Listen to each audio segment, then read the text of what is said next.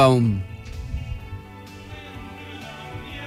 Yuyito Es González. usuario del pibe, ¿eh?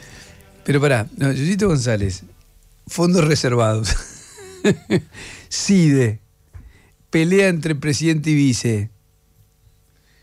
¿Volvieron los 90 o no? Y algo de eso tiene. Lo que pasa es que pelea presidente y vice en fondos reservados. En todos lados, claro, claro. Atraviesa casi todos los gobiernos, Ahora, vos. eh, lo de Yuyito es muy notable la personalidad del chabón, porque el tipo dijo hace Perdón, ¿vos mucho- le estás diciendo al chabón al presidente? Bueno, ¿No, será, presidente. ¿No será mucho? Eso lo de Yuyito. Porque escribiste un libro, te sentís capacitado para decirle chabón a mi ley. Tiene, tiene- ¿Sabes lo que tiene eh, Menem jugando con la 10 de la selección? Menem diciéndole, a co- a- diciéndole a. ¿Quién era? A Galmarini. Diciéndole, escúchame, ese partido va a jugar con la selección y yo quiero llevar la 10. Digo, y Galmarini diciendo, mirá, no puedo pedirle a Maradona eso. Que deje la. sí. De- Decirle que venga Maradona.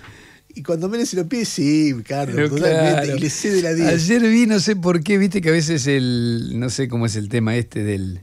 De por qué te mandan determinadas cosas. Me pareció jugando al básquet con la selección. Claro. Cuando en un momento hace, y hace un. Hace un doble. Un doble. Y todo lo dejaban pasar. Le salían. Pero, pero ese momento de Menem, que nosotros lo odiábamos, pero no veíamos lo que él generaba. Entonces, este que dijo, un día dijo, cuando dijeron, ¿cuál era tu ratón, la mujer más bella que viste alguna vez, la que más te eh, generó fantasía? Y dijo, Yuyito González.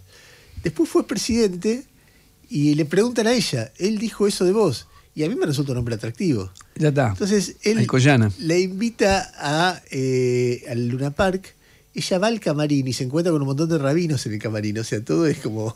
Es surrealista. Y después él, él escribe, porque da la impresión que fue eso nomás, ¿eh? que le escribió, le dijo, ¿querés ir al Colón conmigo? Dale. Y fueron juntos al Colón.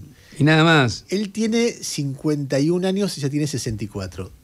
Podría bien, ser una pareja por supuesto. Además es una mujer realmente muy bella, muy, muy linda. Eh, Ahora, imagínate él, que hace 10 años era un economista frustrado. que no lo conocía nadie. solitario, y, de repente, Y ahora de pronto vamos a me pongo la 10. Dale. Canto en una park, me pongo la 10 y soy el presidente. ¿Qué tanto lío? Bueno, eh, vamos a hacer una breve tanda porque lo decía Ernesto. eh, vamos a conversar con Lucas Leach, que, bueno, fue, entre otras cosas, pre- vicepresidente del Banco Central, Central. y también directivo del Banco Nación. Exacto. Eh, radical de origen, eh, muy polémico, ¿no? Cuando con, con sus eh, declaraciones Sobre todo en Twitter. en Twitter. Está- Que diga, un tipo que vos lo conocés, yo lo conozco y he hablado mucho, un tipo refinado, moderado, inteligente, sofisticado. pero en las redes se prende fuego. Increíble. Le vamos a preguntar qué le pasa con eso, entre otras cosas. Increíble, pero Eh, increíble. Entre otras cosas. Viene de una pelea fuerte con Guzmán, ¿no? Sí, sí. Bien. Le dijo socialdemócrata sodomizado por el peronismo. le Por el kirchnerismo. por el Eh, kirchnerismo. por el Sí, kirchnerismo, sí. bien. Ya venimos con Lucas Leach, quédense ahí porque va a estar súper interesante. Pase lo que pase.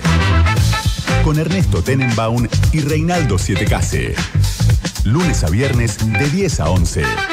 En Radio con Voz.